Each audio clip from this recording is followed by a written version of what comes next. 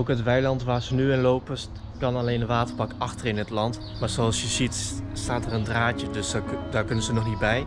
Ik ben nu dan even een extra waterbak aan het vullen. Dan zet ik deze voor aan in het land. Kunnen ze in ieder geval wat water drinken, want met dit weer willen ze graag naar binnen voor water. De loonwerker heeft blijkbaar haast, want ze rijden nu met twee balen persen. Wel mooi om te zien zo, naast elkaar.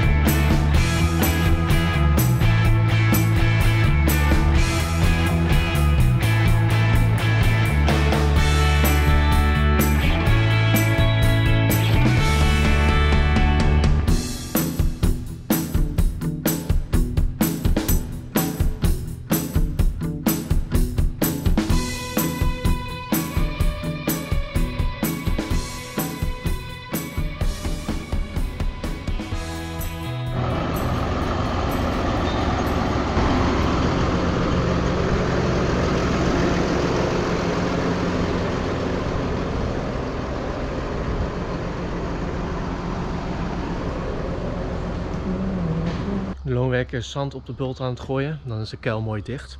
Ik ga zo de trekker aan de hefmast doen om de balen op te halen.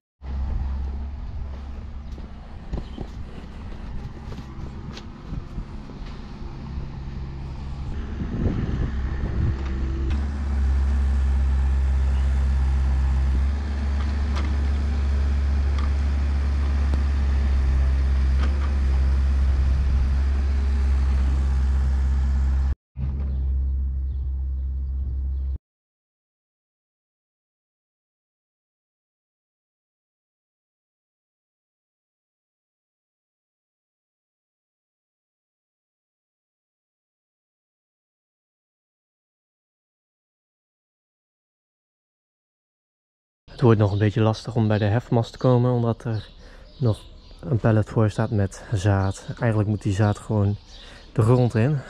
Maar ik weet nog niet wanneer ze komen om dat te doen. Uh, ja, dus voor nu is het nog wel even lastig om daarbij te komen. Aan de grote haak is de achterkast nu weer gefixt. Die is weer gerepareerd en hier, ook hier hebben we een nieuwe kop aan de hydrauliekzang. Deze lekte olie. En als het dan heel warm was, dan werd de olie warm en dan kon hij hem niet meer optillen. Dan heb je er ook niks aan eigenlijk. En hierachter is onze voorraad met pakjes hooi, zaag, sol en stro. Alleen onze stro is bijna op. Dus het wordt een keer tijd om nieuwe stro op te halen. Het zijn de laatste paar pakjes. Meestal hebben we ook deze hele dagen vol liggen.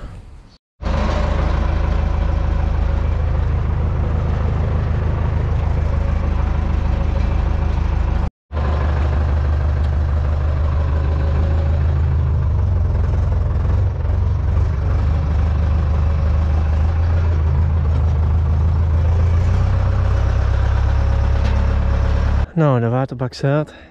Er zit wat minder water in als eerst, maar dat komt door het rijden. Hij zou morgen al wel weer leeg zijn waarschijnlijk. Dan wil ik nog even kijken hoeveel gras ze hebben opgegeten in het land. Als ik het touwtje weer moet verzetten of niet. Hier is de overgang met het touwtje. En op zich staat er nog wel wat gras in. Dit kunnen ze ook nog wel opeten. Het is alleen wat plat omdat ze er overheen zijn, hebben gelopen. Denk dat ik het nu nog even gewoon zo laat staan. En het balen persen is nu ook klaar. Er zijn acht balen achtergebleven die we nog op kunnen halen. En deze weiland is 4 hectare, dus 8 balen van 4 hectare. Alleen voor de helft was er dus veel gras. Nu is alles in principe dezelfde lengte gemaaid. Dus dan kan het weer als geheel gaan groeien. Maar de overgang is wel nog goed te zien. En dit gras is mooi kort en egal gegeten en gemaaid. Het gras zou er wel wat beter van opkleuren dan dit gras. Omdat het gras zo lang is, dan gaat het groeipunt van het gras ook wat hoger zitten. Dus daarom is dit stukje ook wat bruiner als hier zo. Het wordt nu eigenlijk ook een keertje tijd om de pink naar buiten te doen. Alleen maar even kijken wanneer dat kan. En dat we ze gaan leren om uh, te weiden en het draadje te kennen. Uh, dus ja, ik moet nog even kijken wanneer dat kan. Want ik ga binnenkort een keertje op vakantie. En mijn ouders gaan ook op vakantie. Dus dan moet ik nog even kijken. Omdat de koeien al om 5 uur naar buiten gaan, moeten wel alle draadjes dicht zijn. Want anders gaan ze overal naartoe. Gelukkig is het nog niet gebeurd. Maar zoals hier zit een draadje open die we, die we meestal niet gebruiken. Dus die moeten we niet vergeten. Dus doen hem nu alvast dicht.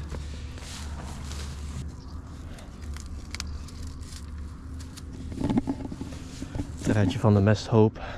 Afgelopen week zijn ook weer een paar kalfjes geboren. Daarom hebben we nu 70 koeien op één robot. En ze staan daar zo straks allemaal op een rijtje. Het zijn deze kalfjes allemaal. Deze is gisteren geboren. Dus we moeten even controleren als, uh, of hij zijn melk goed opdrinkt. Maar de rest doen het allemaal wel goed.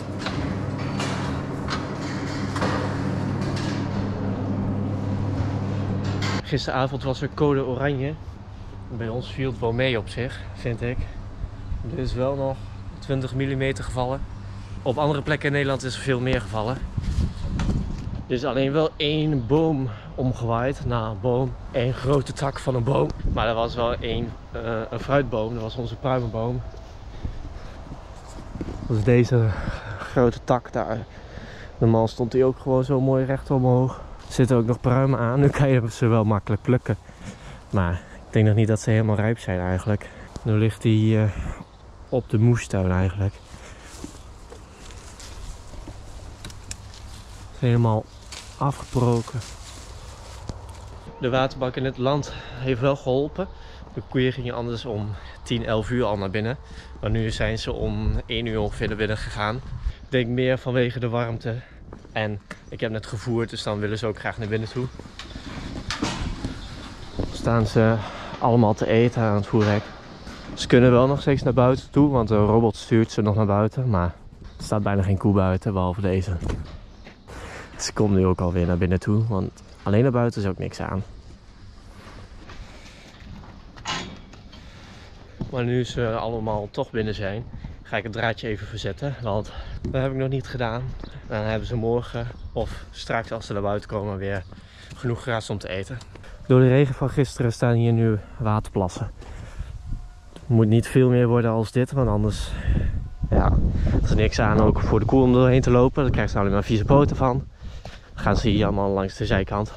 Het zou nog meer gaan regenen deze week, maar het moet niet te veel worden.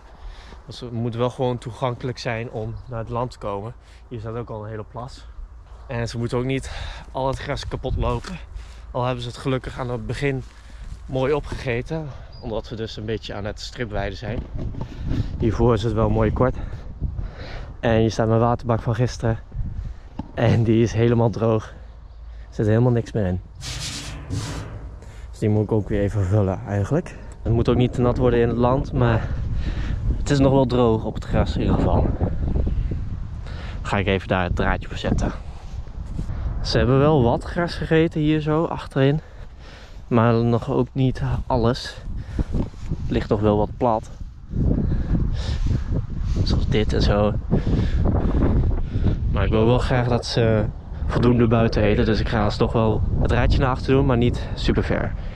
Paar meter niet zoveel als de vorige keer. Ik denk dat ik hem gewoon zet bij het eerstvolgende paaltje. Even kijken hoeveel meter dat is. 1, 2, 3, 4, 5, 6, 7, 8. 8 meter dus. Volgens mij hebben we de vorige keer twee paaltjes verzet, maar dat was wel heel veel. Er staat echt nog wel genoeg gras in ieder geval. Ik vind het op zich ook, het is nog best wel mooi gras. Alleen in het midden staat nu ook wel wat onkruid. Al die gele bloemetjes. Het is de eerste keer dat hier echt wat onkruid in staat in dit land. Want het is nog vrij uh, nieuw gras. En hiernaast staan gelukkig ook nog wat klavers. En het draadje staat nu een paar meter verderop.